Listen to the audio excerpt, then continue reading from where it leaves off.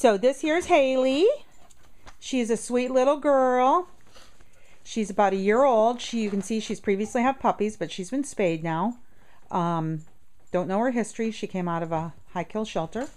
And she's very sweet. She's good with other dogs.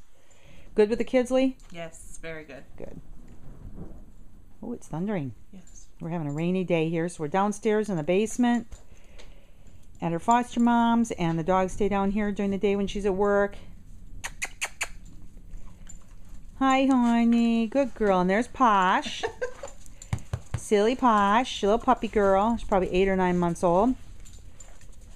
And she'll be up for adoption soon. She, you can put an application in for her. Very sweet girl, also. Just do a short video right now. Uh, Posch is waiting to go get spayed next week because she's in heat. Uh-uh.